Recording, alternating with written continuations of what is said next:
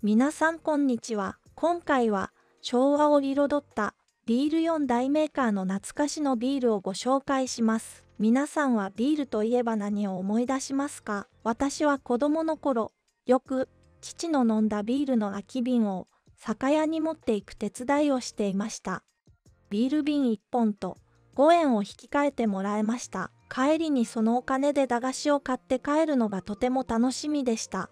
日本にビール醸造所が初めて設立されたのはいつだか知っていますか？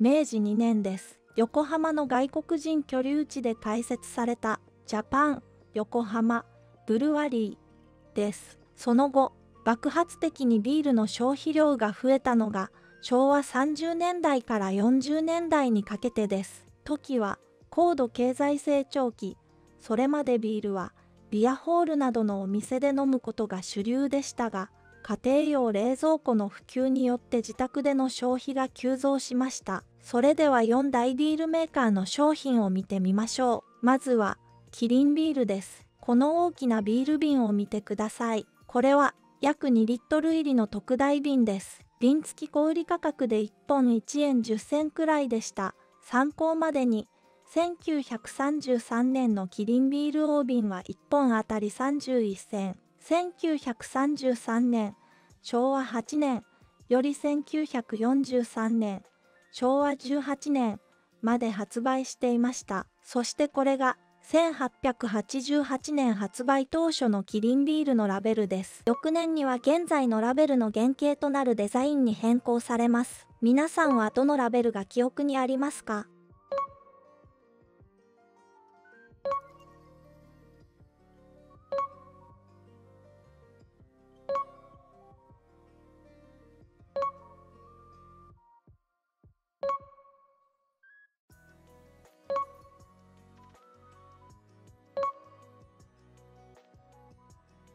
次はアサヒビールです。当時のアサヒビールはビールの新しい形態を次々と生み出す先駆者でした。缶ビール、ビール券、アルミ缶ビールなど今では当たり前になっているスタイルを日本で初めて誕生させました。缶ビールの CM も都会的で洗練された印象でした。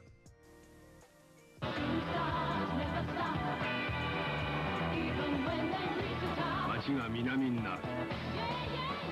ああいいビール。朝日缶ビール。そして朝日の代名詞といえば朝日スーパードライですね。昭和62年1987年日本初の辛口生ビールとして朝日スーパードライが誕生。ビール業界に革命を起こす大ヒットになりました。当時の朝日はシェア10%を割り、大手4社で再開に転落する危機に陥っていましたが、スーパードライの登場で局面は一転しました。発売1年でシェアを8%伸ばし、2位に浮上したのです。すると各社がドライブームに追随、1988年2月からキリンドライ、札幌ドライ、サントリードライ、が次々と発売されました。ドライ戦争と呼ばれる戦国時代です。3つ目はサントリーです。サントリーは1980年代末からのドライ戦争の真っ只中中に、あえて麦芽100%ビール、モルツを発売しました。それがヒットし、主力ビールとなりました。CM では涌井絵美さんを起用。うまいんだな、これがのセリフが印象的でしたね。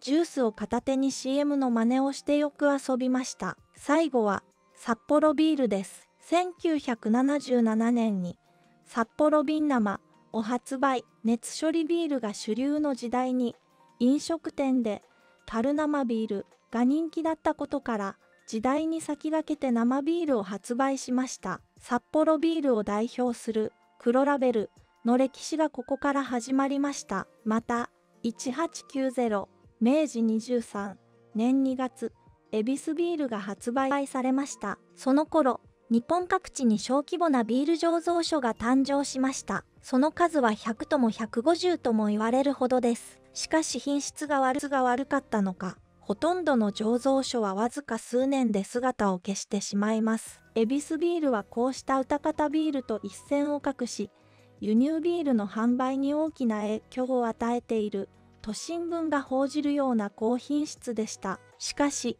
エビスビールの知名度が高まるにつれて、偽物のエビスが出回るようになりました。特に1897、明治30年からの数年間、偽エビスの数が増え続け、日本ビールは商標侵害に関わる訴訟を何度となく行います。それだけビスビールの人気が高かったという証拠と言えるのではないでしょうか。今回は懐かしいビールをテーマにお届けしました。この動画で懐かしさとともにあの頃の活気や夢にあふれた時代を思い出していただけたら嬉しいです。これからも懐かしくて元気が出る情報をお届けしますので、よかったらチャンネル登録と高評価よろしくお願いします。それではまた次の動画でお会いしましょう。